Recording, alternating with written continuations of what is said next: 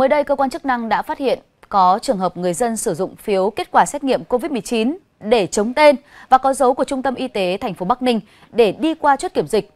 Vụ việc này đang được Sở Thông tin và Truyền thông tỉnh Bắc Ninh và các cơ quan chức năng điều tra làm rõ.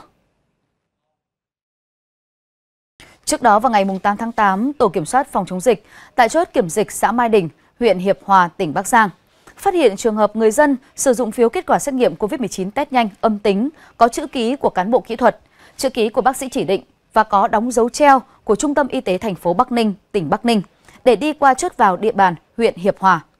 Tuy nhiên, phiếu xét nghiệm không có thông tin của người được test nhanh.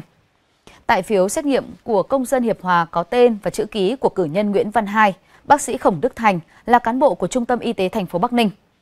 Tuy nhiên, bác sĩ Khổng Đức Thành và cử nhân xét nghiệm Nguyễn Văn Hai khẳng định chữ ký tại phiếu xét nghiệm của công dân đó không phải là chữ ký của mình. Bà Lại Thị Nguyệt, Giám đốc Trung tâm Y tế thành phố Bắc Ninh cho biết, đơn vị này không cấp phiếu kết quả xét nghiệm như vậy.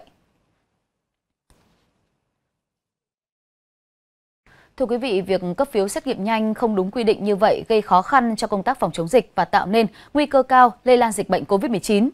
Được biết, hiện Chủ tịch UBND huyện Hiệp Hòa đã báo cáo Chủ tịch UBND tỉnh Bắc Giang và thông tin đến UBND thành phố Bắc Ninh để chỉ đạo kiểm tra, xem xét và có những phương án xử lý phù hợp đảm bảo công tác phòng chống dịch.